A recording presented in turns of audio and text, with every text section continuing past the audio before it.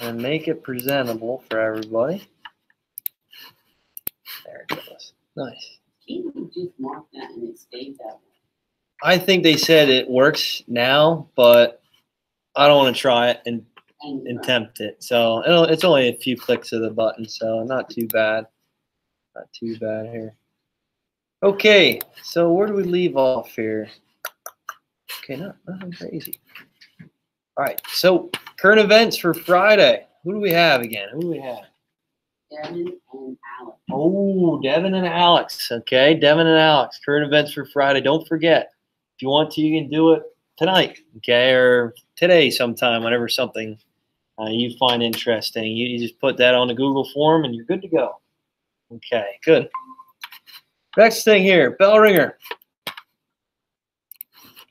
Oh, not American history, not psychology. Oh yeah, psychology. And then freedom.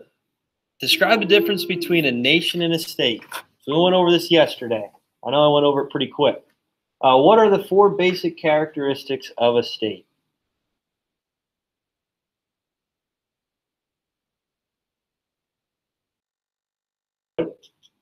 Describe the difference between a state and a nation, and what are the four basic characteristics of a state?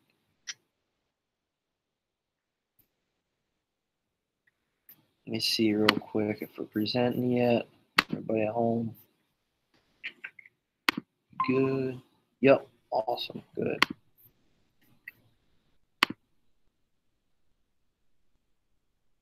see if I for this. Okay. Good. All right. Working on the bell ringer. Give you guys a couple minutes to work on this. It's a little bit of a longer one.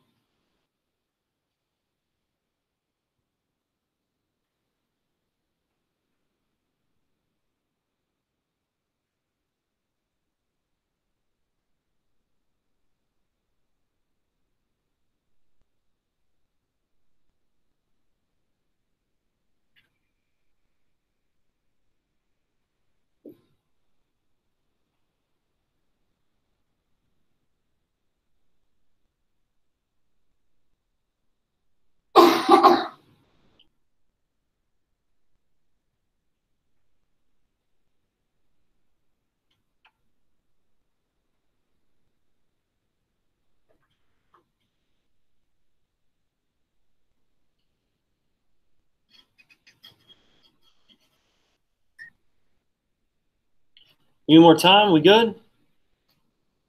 I think we're finished. All right. Describe the difference between a state and a nation. So, what is a state? What is a state?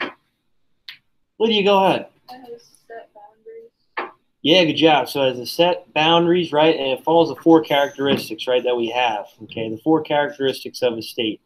All right, good, good job. So with that, a state has set boundaries, and what is considered a state? What do you think, Lydia? Yeah, the United States, right? Good job. Right, United States. So since we're on the state right now, what are the four basic characteristics? Anybody? Go ahead, Woodward. Population. Population, good job. So every state needs to have a population. Uh, it, it, it, it's dependent on size, right? You might have a bigger population, a lower population, depending on what type of resources that you have there, uh, depending on trade, maybe, uh, education, whatever it might be. Okay, whatever it might be. All right, good job. So every state has a population, right? And it's dependent on how big or small that it actually is. So China, India, huge populations, right? Okay, good. What's another characteristic of a state? Go ahead, Austin. Territory. Yeah, territory, right? So we said that. Uh, well, Lydia said that with the boundaries of territory. We have distinctive boundaries or a territory. Good. And uh, with the United States, last is up here. We have Hawaii, okay, and our separate territories where, you know, we still considered a part of our state. Okay, good. Good job.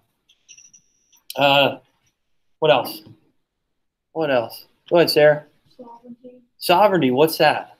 It's like maintaining and keeping your culture and way of life without being like encroached upon or forced out of it. Yeah, yeah, good job. So keeping your distinctive values, right? Your culture, your your cultural aspects, good. And this might be even as how we relate to other countries, how we communicate, how we have foreign diplomacy. Okay. Um, yeah, good. You said it spot on. All right, what else? The last one here. Go ahead, Alex. Government, right? Government. Okay, how we're going to try to govern the people within our specific state. That's the United States. What kind of government do we have? We're going to talk about the types of government here today. Now, what type of government do we have? Does anybody know? Go ahead, Sarah. Is constitutional republic? Um, yeah, yeah. So like a presidential democracy, you could say a constitutional republic. Okay, good. Yeah, that's good. All right, and then with North Korea, what's North Korea? What's that? What type of government do they have? Woodward, what do you think? Yeah, dictatorship, right? So it depends on each state. Obviously, they're not all the same. They could be- they could vary. All right, with Great Britain, England, United, well, yeah, Great Britain. What, what, what do they have? What type of government? Does anybody know? We'll talk about this maybe more tomorrow or uh, Thursday. But Alex, what kind of monarchy?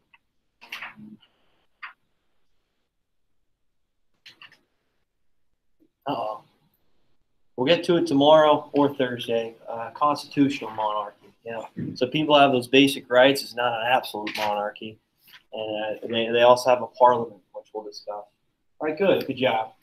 All right. So state, distinctive territories, boundaries, and we have the four characteristics of a state. We have population, sovereignty, government, and what else? Territory. Right. Okay. Good. Good job. And then finally, what's a nation? Describe what a nation is.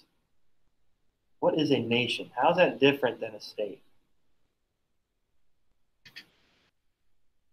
What is a nation?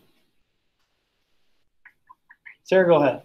An area defined like without boundaries, but it's like defined by people who have like same culture and language.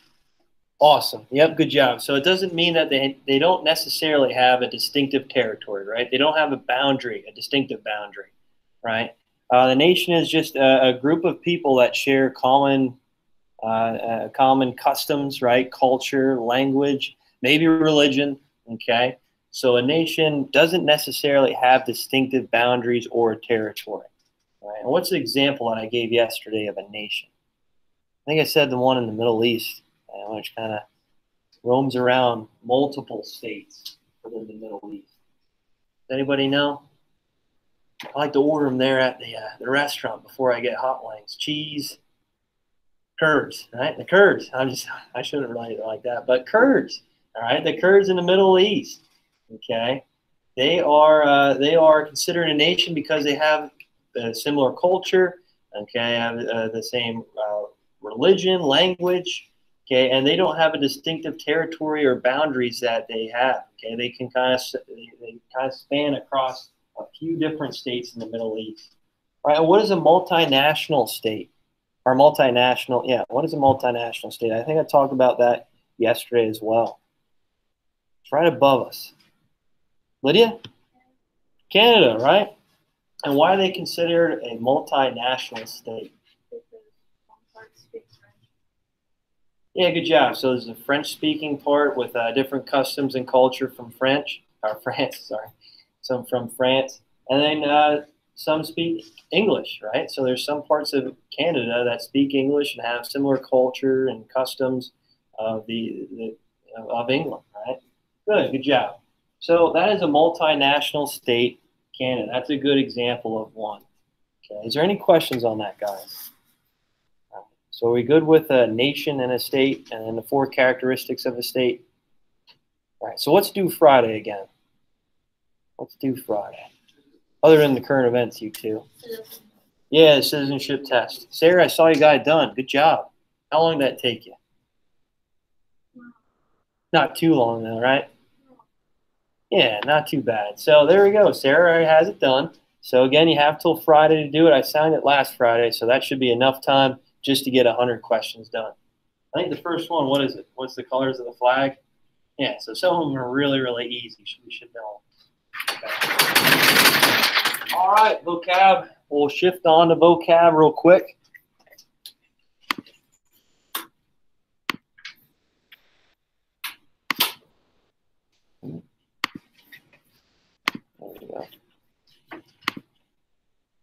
So the terms for today, oh, it can't really.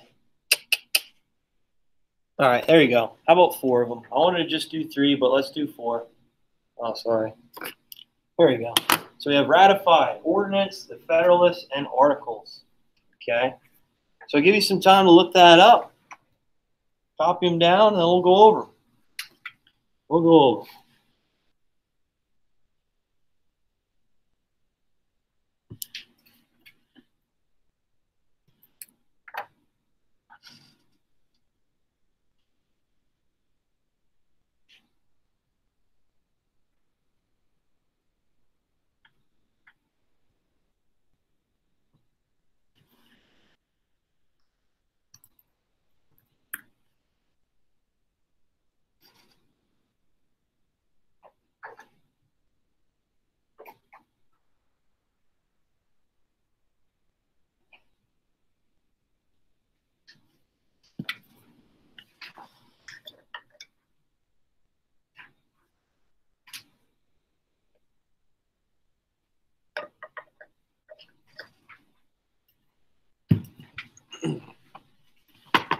Did anybody try the online textbook at home, by the way?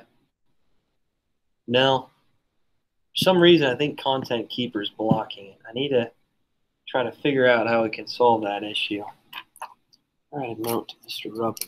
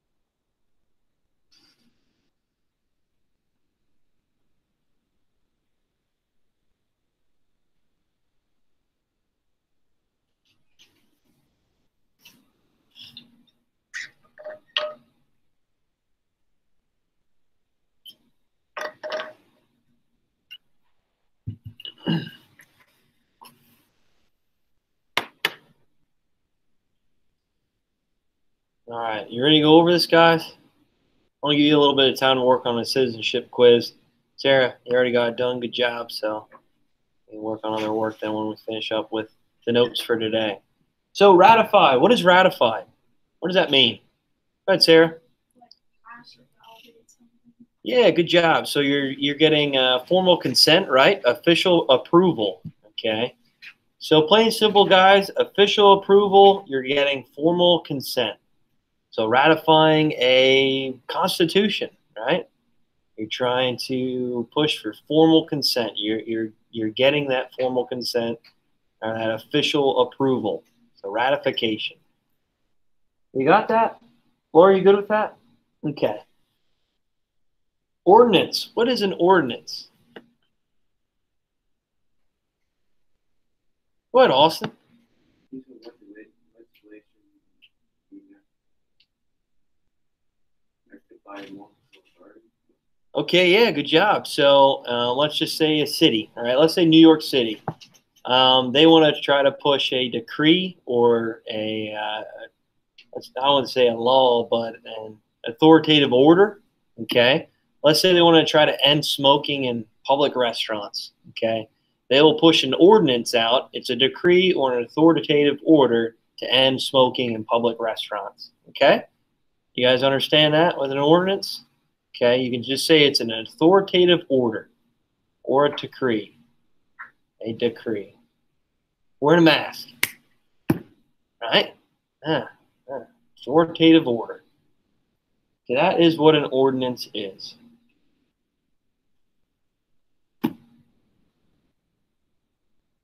All right, Federalist. What is the Federalist? Alex, do you know?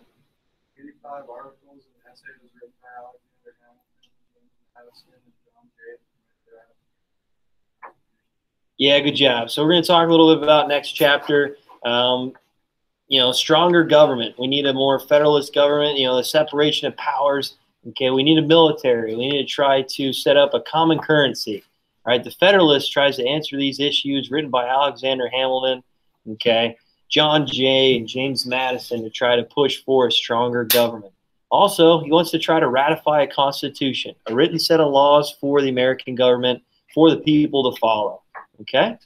Good. Good job. So the Federalist is just a series of written letters, okay, pushing for a stronger government, a written constitution, okay, a more central government. Centralized government. It's good with that? Alex, you good? Next one, articles articles. There's a, I guess, many meetings you can get from this here. So articles. I guess you could say the articles, the seven articles of the Constitution. The first three labeling the branches of the Constitution, or the uh, the branches of government. Sorry.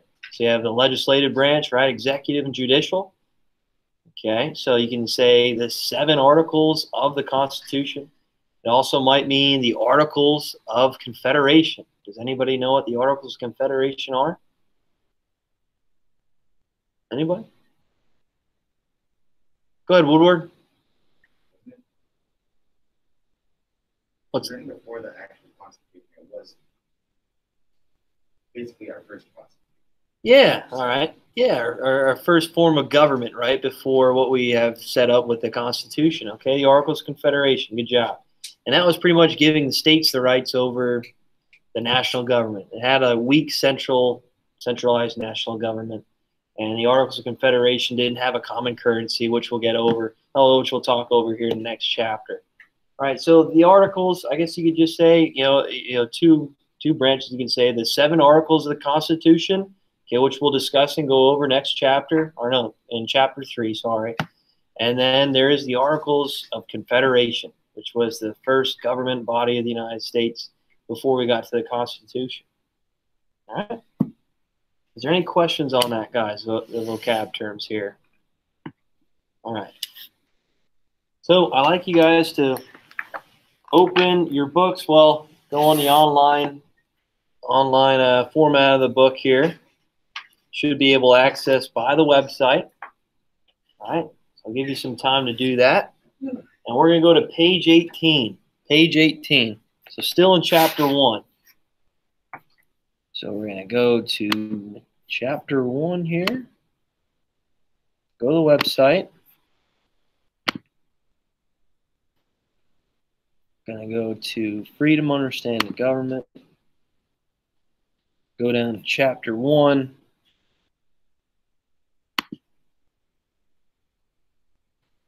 Okay. We go to page 18.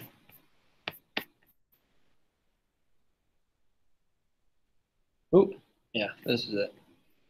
Sorry, 17, but it's 18 on the textbook. So, types of government.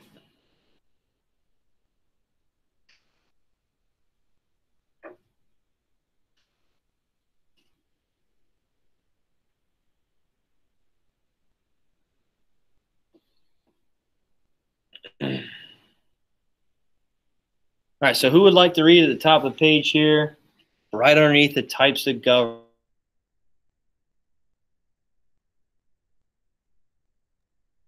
representative democracy a government and inspires people around the world. Since China in 1989 marched for government of the people, by the people, and for the people. Today, democracies outnumber all other forms of government. Over the centuries, people have organized their government in many way, different ways. Saudi Arabia, for example, the ruling royal family controls the government and its resources. Family members chose the king among themselves thousands of miles away. In Burkina Faso and Africa, a small group of wealthy landowners and military officers govern the country. In Sweden, the people elected a riksdag, a national legislature, which in turn selects the prime minister to carry out the law. All right, good job. So we're going to go over some types of government here today, um, just the three major types of government. And then uh, tomorrow we're going to get more in, involved with uh, different forms of government that fall under these types of types of government. Okay. So democracy is solid. Who'd like to read that? I think it's an interesting story here, the cover story. Who'd like to read that here for me? Lydia, go ahead. Some 10,000 Chinese troops surprised sleeping protesters in Yep. Square earlier, earlier this morning. The brutal assault, one of the worst days of bloodshed in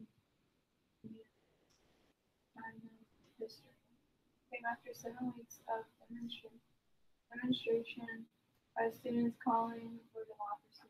The protesters scattered in terror as soldiers spray them with automatic weapon fire. Once government forces gained control of the hundred acre square, they used a tank to crush the goddess of democracy, a 33 foot plaster of styrofoam statue that the students have erected. The Chinese Red Cross put the death toll of almost 2,600. All right, good job. So, what does China have? Do they have a democracy? No. All right. Are they still having issues today with um, democratic, uh, you know, uh, individuals trying to fight for democracy? Well, I guess you say people fighting for democracy. Yeah, there's a lot of rebellion still today in China, and uh, and and it kind of shows with their government trying to put down these types of I won't say rebellions, but different types of um, grievances that the people show in these marches or these signs of democracy that they're trying to push for by making what Lady Liberty there, okay? Uh, the, these statues. And uh, there's a lot of bloodshed in China because of these types of acts that these people are trying to push for democracy and a voice in government. Okay, still today, still today. You don't hear about it too much, but it's still on the news. Right? It's, still, it's still on the news that there, there's still conflicts of this going on. All right, good, good job. So we'll get into communism here and socialism a little bit later uh, when we get to different um, types of government as well and, and economic systems. But uh, right now, we're just going to focus on the major types of government. All right, good, good job. All right, so major types of government. I just like you read autocracy, oligarchy, and democracy there. Okay, you're going to finish up on page 20. Okay, as you're scrolling through, it would be finished up on page. Yeah, 19. There you go. Finishing up on page 20 of the textbook, I like you read major types of government, autocracy, oligarchy, and democracy.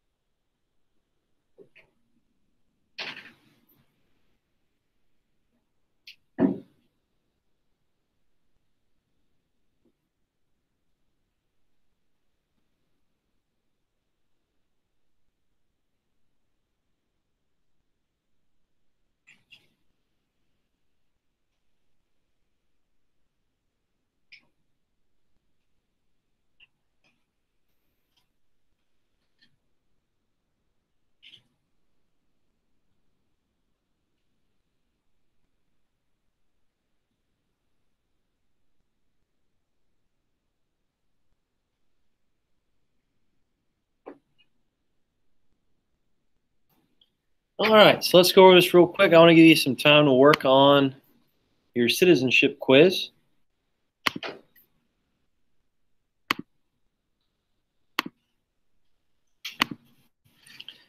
All right, so types of government. What do we read about? What do we read about? What's one type of government that you just read about? Major type. Major type. So all the government forms, the different types, kind of fall under these three. What's one of them? Holden, go ahead. What's that? Yeah, what is an autocracy? Yeah, good job. So one person has full power. Okay, good job. So for the most part, an autocracy, all right, that leader, okay, they have full control of the military, okay, police force, the economy, okay, and, and so on and so forth. And what types of government do you think fall under an autocracy?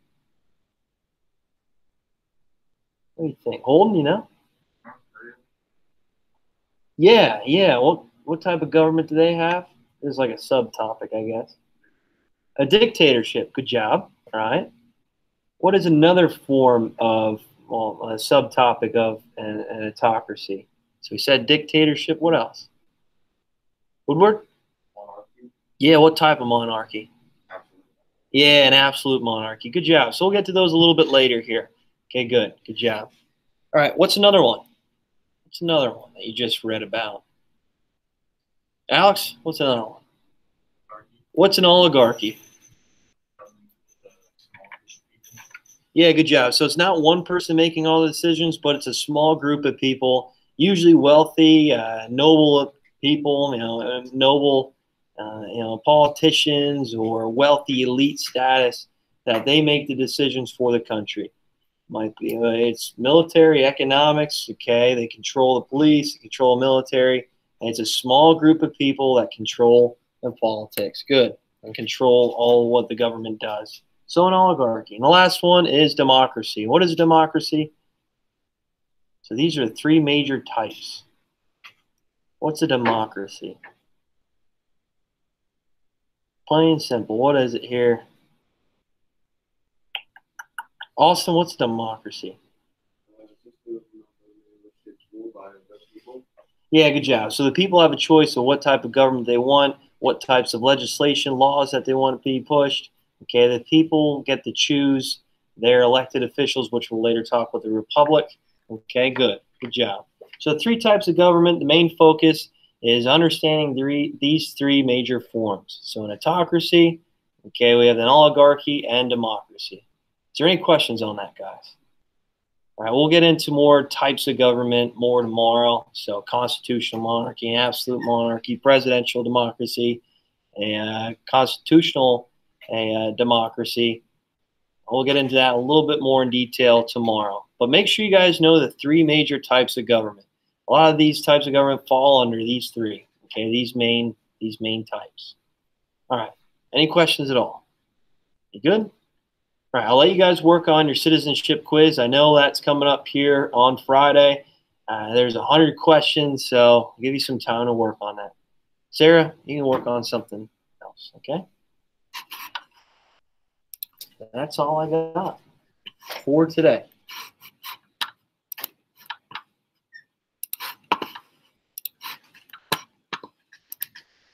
Devin, make sure you remember current events. Okay? Alex, you got it.